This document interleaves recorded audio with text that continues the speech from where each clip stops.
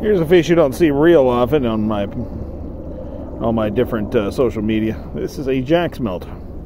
Not a small one, not a giant one. I normally keep these for bait, but this guy will be going back. Pretty cool fishy though.